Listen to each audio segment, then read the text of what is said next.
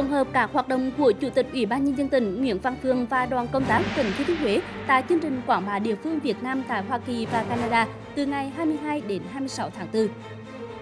Mặc dù chỉ mới thí điểm trên một số địa bàn, nhưng phong trào tuyển đường cơ kiểu mẫu đã tạo ra những lan tỏa tích cực, thể hiện tình yêu quê hương đất nước của mỗi người dân xứ Huế. Cùng tìm hiểu nghe bình luận bóng đá phủi trong phần cuối chương trình. Kính chào và cảm ơn quý khán giả đang theo dõi chương trình Huế ngày mới, Chủ nhật ngày 28 tháng 4. Vừa rồi là những thông tin chính trong chương trình và bây giờ hãy cùng bắt đầu một ngày mới. Được sự đồng ý của Thủ tướng Chính phủ từ ngày 22 tháng 4 đến ngày 26 tháng 4, Phó Bí thư tỉnh ủy, Chủ tịch Ủy ban nhân dân tỉnh Nguyễn Văn Phương dẫn đầu đoàn công tác tỉnh Thừa Thiên Huế tham gia chương trình quảng bá địa phương Việt Nam tại Hoa Kỳ và Canada. Chương trình do Bộ Ngoại giao tổ chức được kỳ vọng sẽ góp phần giới thiệu hình ảnh và tiềm năng của Việt Nam nói chung và Thừa Thiên Huế nói riêng đến với bạn bè quốc tế, đồng thời thu hút đầu tư và thúc đẩy hợp tác kinh tế thương mại của các đối tác Mỹ và Canada vào tỉnh Thừa Thiên Huế. Sau đây là phần tổng hợp các hoạt động của đoàn. Tại các thành phố New York, Houghton, Hoa Kỳ và thành phố Vancouver, Canada, đoàn đã tham dự các hoạt động chính như tọa đàm, đẩy mạnh xuất khẩu và thúc đẩy phát triển xanh bền vững giữa địa phương Việt Nam với các đối tác Hoa Kỳ. Tọa đàm kết nối địa phương doanh nghiệp Việt Nam Canada. Cụ thể, sáng ngày 22 tháng 4 theo giờ địa phương, tại thành phố New York, đoàn công tác đã có chương trình làm việc với phái đoàn thường trực Việt Nam tại Liên Hợp Quốc cùng các đồng chí lãnh đạo của phái đoàn phụ trách lãnh sự, khoa học công nghệ, thương mại, Chủ tịch Nguyễn Văn Phương đã đề nghị các phái đoàn thường trực quan tâm quảng bá các thế mạnh của tỉnh và kết nối để các doanh nghiệp tại thành phố New York đầu tư về Thừa Thiên Huế. Ngày 24 tháng 4, tại thành phố Houston, đoàn công tác của tỉnh Thừa Thiên Huế đã tham dự tọa đàm với chủ đề đẩy mạnh xuất khẩu và thúc đẩy phát triển xanh bền vững giữa địa phương Việt Nam với các đối tác Hoa Kỳ. Tại phiên họp này, thay mặt tỉnh Thừa Thiên Huế, Chủ tịch Ủy ban nhân dân tỉnh Nguyễn Văn Phương đã giới thiệu đến các doanh nghiệp, nhà đầu tư về tiềm năng và cơ hội đầu tư trong lĩnh vực năng lượng sạch, năng lượng tái tạo trên địa bàn tỉnh, đồng thời cùng nhau hướng đến mục tiêu phát triển các ngành công nghiệp sạch, thân thiện môi trường. Chủ tịch Nguyễn Văn Phương khẳng định, quan điểm phát triển ngành năng lượng trên địa bàn là từng bước đa dạng hóa nguồn cung năng lượng, nguồn điện dựa trên các nguồn năng lượng tái tạo mà tỉnh có tiềm năng, đặc biệt là các nguồn sinh khối, năng lượng mặt trời, điện gió, điện khí, được coi là một trong những giải pháp phát triển bền vững và tỉnh Thừa Thiên Huế có rất nhiều tiềm năng to lớn về hợp tác đầu tư phát triển.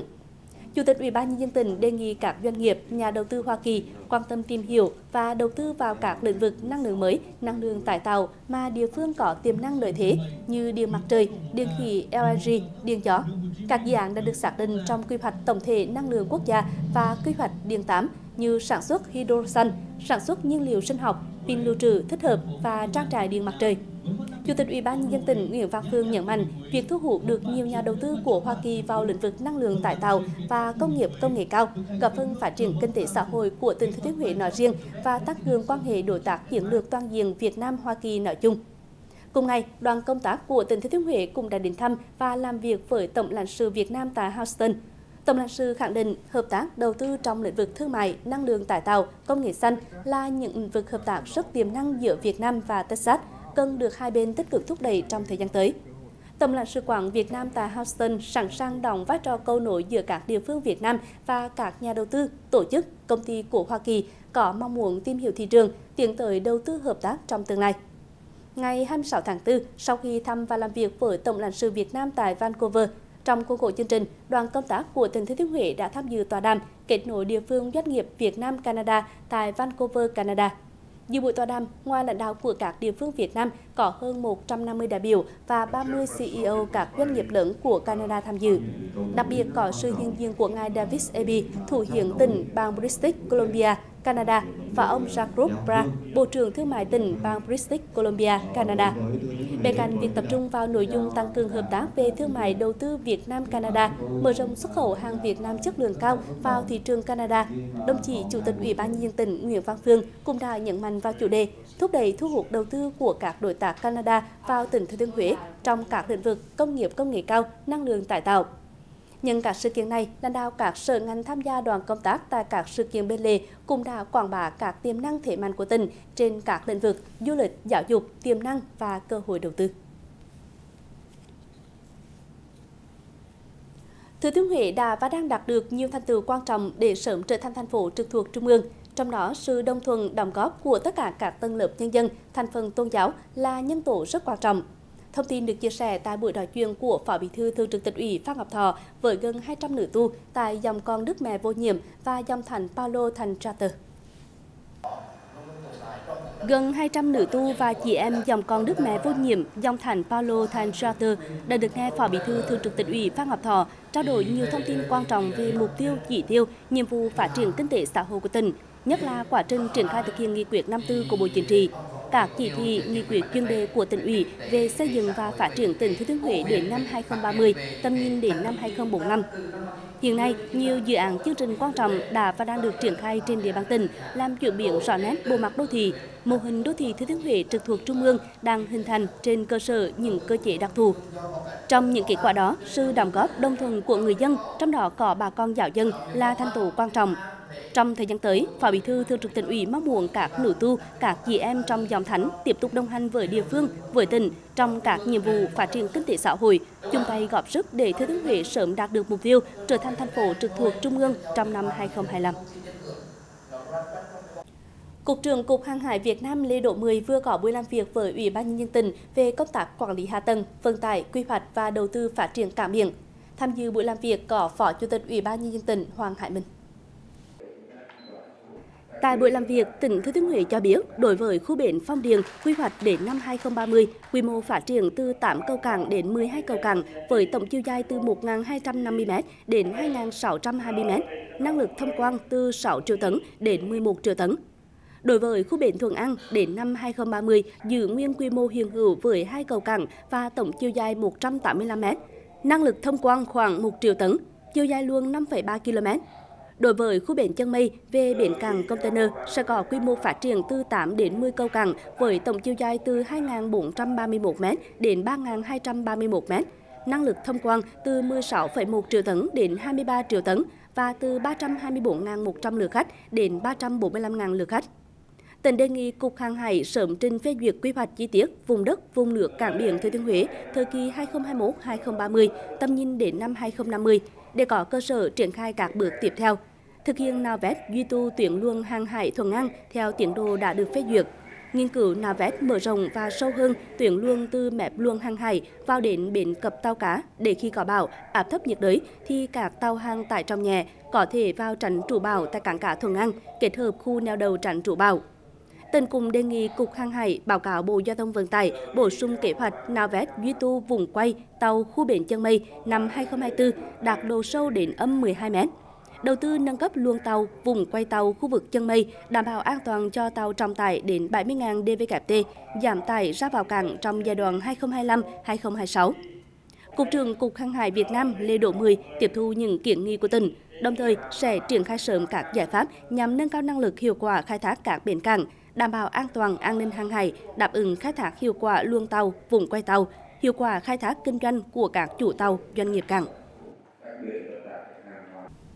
Sáng qua, hội nghị khoa học tim mạch cổ đô mở rộng do Hội tim mạch Thừa Thiên Huế phối hợp với Trường Đại học Y Dược Huế, Bệnh viện Trung ương Huế, Bệnh viện Trường Đại học Y Dược Huế tổ chức chính thức khai mạc. Tham dự có ông Phan Quỷ Phương, Phó Chủ tịch Ủy ban nhân dân tỉnh, cùng các giáo sư, phó giáo sư, tiến sĩ, bác sĩ trong nước thuộc các hội chuyên ngành liên quan các chuyên gia tim mạch nước ngoài đến từ Hội tim mạch Đức, Việt, Pháp, Hoa Kỳ, Singapore, Malaysia và Cuba. Đây là lần thứ ba hội nghị tim mạch cổ đô mở rộng được tổ chức với chủ đề tiếp cận toàn diện bệnh lý tim mạch và đông mắt. Tham dự có 75 chủ tịch đoàn và báo cáo viên gồm 42 giáo sư, phó giáo sư, 8 tiến sĩ, 17 bác sĩ chuyên khoa 2 và thạc sĩ từ 9 tỉnh thành toàn quốc, 9 báo cáo viên nước ngoài, 103 bài báo cáo gồm 6 phiên tổng quan, một phiên nghiên cứu khoa học và một phiên báo cáo khoa học trẻ tim mạch, cùng hai phiên đào tạo y khoa liên tục được diễn ra trên ba hội trường cùng lúc và kéo dài liên tục trong ngày 27 tháng 4. Hội nghị được tổ chức song song offline và online trên nền tảng hội nghị online Zwaka, cập nhật cả khuyến cáo mới nhất từ ESC, ACC, ASA, VNSA. Đặc biệt, hội nghị có giải thưởng nhà nghiên cứu khoa học trẻ báo cáo tiếng Anh. Bệnh tim mạch là một trong các nguyên nhân gây tử vong hàng đầu trên thế giới, cũng như tại Việt Nam.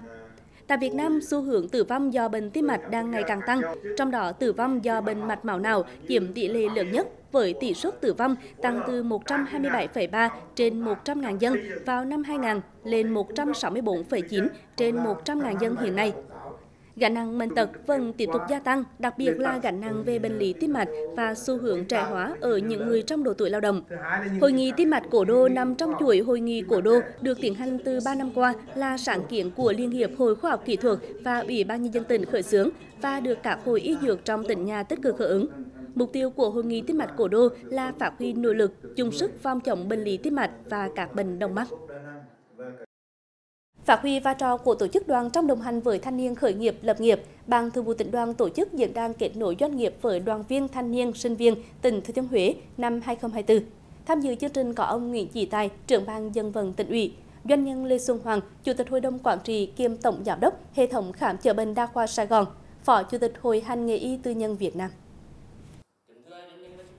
Thời gian qua, Ban Thường vụ tỉnh đoàn đã tích cực triển khai các hoạt động đồng hành với thanh niên trong khởi nghiệp, lập nghiệp như tổ chức các sự kiện giao lưu, kết nối các câu lạc bộ khởi nghiệp, tiếp tục hình thành các vườn ươm câu lạc bộ khởi nghiệp đổi mới sáng tạo trong các trường đại học cao đẳng, tổ chức các cuộc thi thanh niên khởi nghiệp, phối hợp với ngân hàng chính sách xã hội và chính quyền địa phương củng cố nâng cao chất lượng hoạt động tín dụng chính sách xã hội.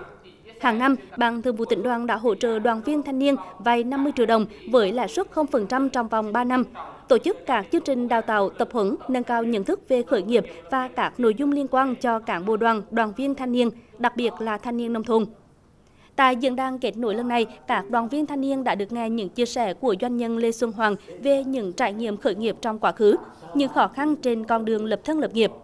Doanh nhân Lê Xuân Hoàng mong muốn những chia sẻ chân thành về câu chuyện khởi nghiệp của bản thân sẽ tiếp thêm cảm hứng, sự động viên cho các thanh niên tiếp tục vững bước trên con đường khởi nghiệp, trở thành những người thành công trong tương lai, tiếp tục cống hiến để xây dựng quê hương Thừa Thiên Huế ngày càng phát triển. Dịp này, doanh nhân Lê Xuân Hoàng cũng đã dành 100 triệu đồng trao tặng cho các cán bộ đoàn có hoàn cảnh khó khăn, thanh niên khởi nghiệp tiêu biểu và sinh viên có hoàn cảnh đặc biệt khó khăn trên địa bàn tỉnh Thừa Thiên Huế. Những phần quà sẽ góp phần hỗ trợ khuyến khích đoàn viên thanh niên, sinh viên tỉnh Thừa Thiên Huế tiếp tục cố gắng nỗ lực trong học tập, chủ động khởi nghiệp, lập nghiệp, góp phần xây dựng tỉnh Thừa Thiên Huế sớm trở thành thành phố trực thuộc trung ương. Sở Khoa học và Công nghệ tỉnh phối hợp với Ủy ban nhân dân huyện Phong Điền tổ chức công bố và trao văn bằng bảo hộ nhãn hiệu chứng nhân hương xưa làng cổ Phước Tích và nhãn hiệu tập thể đền bang Phò Trạch để dự có các lãnh đạo của Cục Sở hữu trí tuệ, Bộ Khoa học và Công nghệ, Sở Khoa học và Công nghệ tỉnh và huyện Phong Điền. Việc thực hiện thành công hai dự án tạo lập, quản lý và phát triển nhãn hiệu địa phương là tiền đề và cơ sở pháp lý để tổ chức thực hiện việc quản lý và sử dụng cũng như triển khai công tác tuyên truyền nhằm lan tỏa nhãn hiệu tập thể đền bang phò trạch và nhãn hiệu chứng nhận hương xưa làng cổ Phước Tích đến người dùng trên cả nước, góp phần xây dựng sản phẩm du lịch đặc trưng của địa phương đến với du khách trong và ngoài nước. Thưa quý vị, trong những ngày này là quốc kỳ tươi thắm hiện diện khắp các đường làng ngõ xóm từ thành thị đến nông thôn đã thể hiện niềm tự hào của mỗi người dân đối với truyền thống đấu tranh cách mạng và tình yêu quê hương đất nước. Mặc dù chỉ mới thí điểm trên một số địa bàn, nhưng phong trào tuyển lương cơ kiểu mẫu đã tạo ra những lan tỏa tích cực. Ghi nhận của phóng viên thời sự. Xã Phủ mầu là một trong những địa phương vận động người dân trao cờ nhiều nhất với 10 tuyển đường, mỗi tuyển dài 1 km. Hệ thống cơ tổ quốc được gắn đồng loạt theo quy cách thống nhất, rất trang trọng và đẹp mắt. Với việc huy động nguồn lực xã hội hóa, 100% người dân trong các tuyến đường đều đồng thuận và thực hiện nghiêm túc. Theo bà con, việc trao cờ trong dịp lễ không chỉ làm đẹp đường làng ngõ xóm mà quan trọng hơn là thể hiện được tinh thần tự hào dân tộc.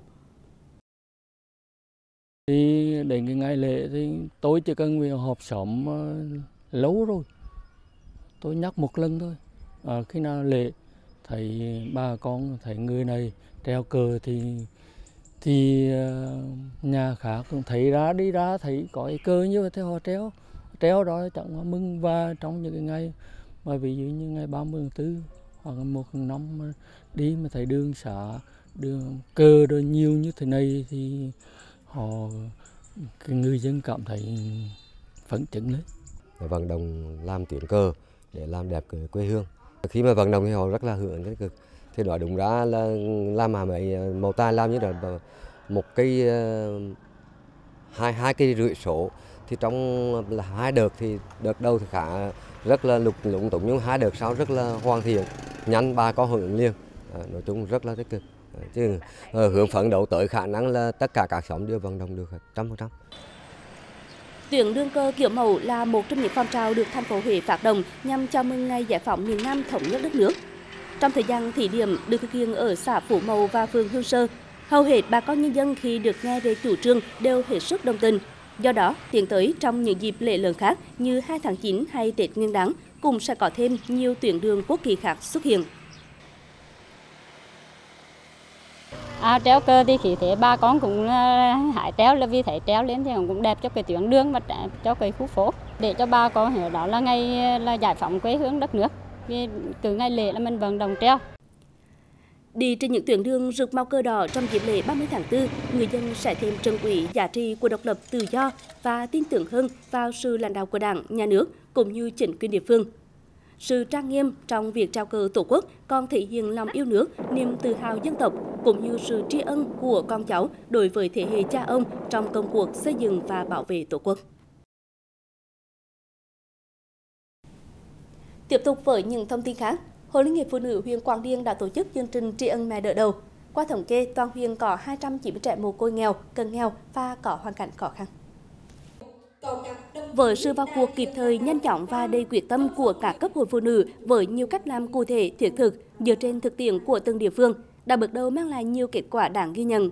Từ 89 cháu được đỡ đầu vào năm 2022, đến nay đã có 133 cháu được các tổ chức cá nhân mạnh thường quân nhận chăm sóc nuôi dưỡng hàng tháng với số tiền từ 300 đến 600 nghìn đồng một trẻ. Chương trình tri ân đã trao 133 suất quà cho các cháu có hoàn cảnh đặc biệt khó khăn trên địa bàn. Hội Tư trợ Phát triển Y học Việt Nam ADM Cộng hòa Pháp đã đến thăm tặng quà và tổ chức tập huấn phục hồi sức khỏe cho các học viên là nhân viên tại các cơ sở xoa bóp, phục hồi chức năng thuộc Hội Người mù tỉnh Thừa Thiên Huế. Đoàn đã tặng cho ba học sinh đang theo học tại Trung tâm hướng nghiệp dạy nghề Hội Người mù ba chiếc xe đạp. Chương trình cùng tập huấn cho các học viên của Hội Người mù tỉnh phương pháp phục hồi sức khỏe qua hình thức xoa bóp, bấm huyệt theo kiến thức chuyên môn, kinh nghiệm trong lĩnh vực xương cơ khớp. Từ 10 năm nay, Hội Tương trợ Phát triển Y học Việt Nam tại Cộng hòa Pháp đã có nhiều hoạt động hỗ trợ cho Hội người mù Thừa Thiên Huế để nâng cao kiến thức, kỹ năng, đáp ứng nhu cầu phục hồi sức khỏe cho khách hàng. Thời gian qua, phong trào bóng đá phủi dành cho các cầu thủ nghiệp dư đam mê trải bóng tròn phát triển mạnh trên địa bàn tỉnh, cả phân trương lửa cho các trận tranh tài sôi nổi thì không thể không nhắc đến các bình luận viên. Khác với các vận động viên bóng đá chuyên nghiệp thường thấy, bình luận viên bóng đá phủi không được đào tạo bài bản và cũng không được nhiều người biết đến. Tuy nhiên, cùng chính vì những lý do này mà bình luận viên bóng đá phong trào lại có những sức hút riêng. Đó là sự tự do phóng khoáng đúng với tinh thần của bộ môn bóng đá này. Tôi tên là Bùi Hồng Phúc, à, sinh năm 2002 và đã làm công việc bình luận viên này được tròn một năm. Quả đá phạt gián tiếp dành cho Startech và họ sẽ có cơ hội rất lớn để ghi bàn thắng thứ ba trước bóng là Viễn Thành. Đây là Tuấn đập Reuter, khoảng trống đã được mở nhưng pha đi bóng không thành công. Em ờ, rất là đam mê bóng đá nên là mỗi ngày đi làm lúc nào em cũng vui. Tuy nhiên vừa rồi chính áp lực của BAP thay người bên phía BAP tục là hoàng bận với những tình huống ban đầu em cũng gặp rất nhiều khó khăn như là vấp rồi sai tên cầu thủ hoặc là nhìn sai số rồi uh, nói sai thông tin của giải đấu hay gì đó nhưng mà dần dần thời gian thì làm rồi cũng quen dần anh ạ em cũng may mắn là có được các anh chị đồng nghiệp rất là quan tâm rồi chỉ bảo em rất là nhiệt tình ạ. Với vai trò là một kỹ thuật viên như mình thì mình sẽ cung cấp những thông số cho những bình luận viên như Phúc để giúp bạn theo sát những diễn biến của trận đấu. Và như vậy hiệp đấu thứ hai của V-League Việt Nam hay là giải bóng đá châu Âu thì sẽ biết nhiều. Còn ví dụ như các cầu thủ phủi thì em cũng chưa biết nhiều nên là cũng thường hay đọc sai tên rồi chưa có được cái ngôn từ phù hợp để cho những tình huống bóng trong những ngày đầu tiên. Nhưng sau dần thì với điều chỉnh rồi học hỏi thêm từ các tiền bối rồi xem nhiều trận bóng đá thì em cũng rút ra được nhiều kinh nghiệm ạ. Rất tốt, cú đá tuyệt vời từ tuyến luận viên chỉ là người giữ lửa của trận đấu như là là người uh, là sợi dây kết nối uh, gần gũi nhất giữa các cầu thủ và các khán giả thì em nghĩ chắc chắn rằng phong trào của biên luận viên các à, đơn vị phụ em nghĩ nó sẽ còn phát triển mạnh mẽ hơn nữa trong tương lai.